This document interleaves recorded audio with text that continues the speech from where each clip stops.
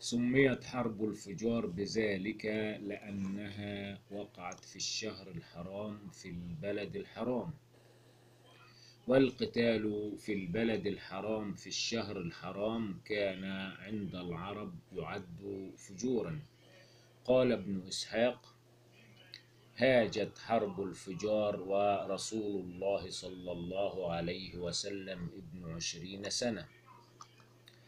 وإنما سمي يوم الفجار بما استحل هذان الحيان بينهما من المحارم وهم كنانة وقيس عيلان. وقال ابن هشام لما بلغ رسول الله صلى الله عليه وسلم أربع عشرة سنة أو خمس عشرة سنة فيما حدثني أبو عبيد النحوي عن أبي عمرو بن العلاء قال هاجت حرب الفجار بين قريش ومن معها من كنانة وبين قيس عيلان.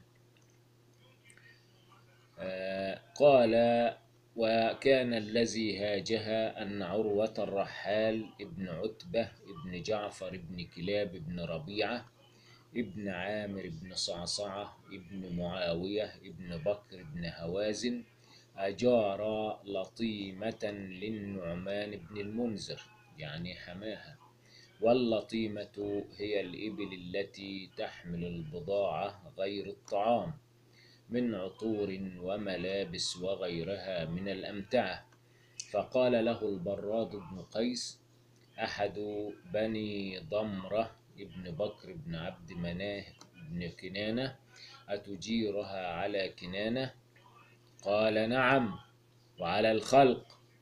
فخرج فيها عروة ابن الرحال وخرج البراد يطلب غفلته حتى إذا كان بتيم ذي طلال بالعالية.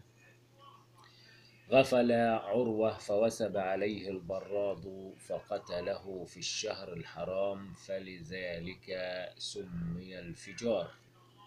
والله تعالى أعلم وأعلم فهذا ما أورده كتاب السير والتواريخ.